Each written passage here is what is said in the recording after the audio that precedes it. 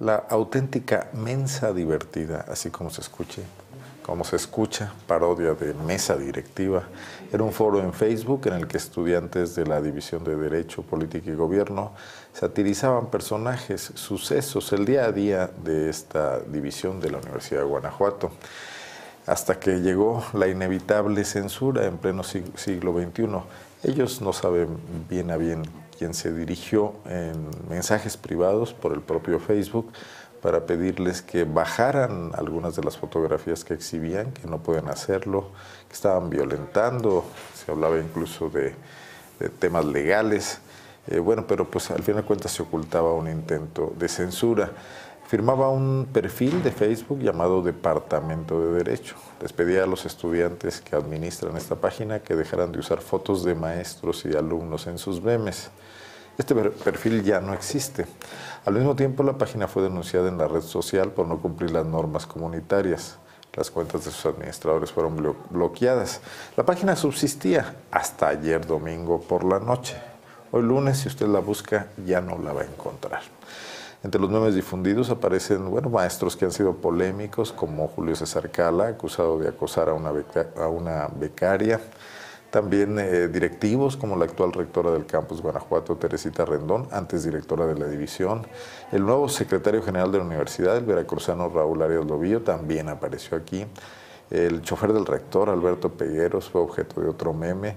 Maestros como Jesús Soriano, que aspiraron a la eh, titularidad de la Procuraduría de los Derechos Humanos, también fueron víctimas de alguna broma, nada del otro mundo.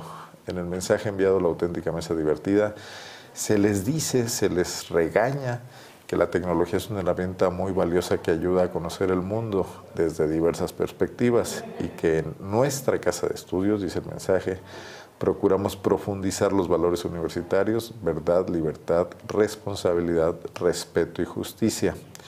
Y aunque se muestren a favor de la libertad de expresión, se les pide respetar los derechos de los miembros de la comunidad universitaria, como si un meme violara algún tipo de derecho. Imagínense cómo estarían las redes sociales. Trump ya hubiera hecho un escándalo por los memes mexicanos. Les piden que respeten al claustro de profesores, así le llaman, el claustro de profesores que impulsan el desarrollo de los estudiantes de la división. Vaya que es un claustro. El argumento es que no se pueden utilizar las imágenes sin su autorización porque, de acuerdo a este, razonamiento, violan el artículo 87 de la Ley Federal de Derecho de Autor. Además que se utilizan y alteran la imagen de la División de Derecho, Política y Gobierno sin permiso. Casi al final de este texto se solicita que se retiren las imágenes que vulneran a los profesores, alumnos y personal administrativo. Bueno, pues esto dio lugar a, entiendo, entendemos, una reunión el día de hoy, la que no sabemos qué resultados hubo entre los administradores de la página y los nuevos directivos de la División de Derecho Político y Gobierno. Pero un resultado que está a la vista es que al día de hoy en Facebook ya no existe esta página de sátira universitaria.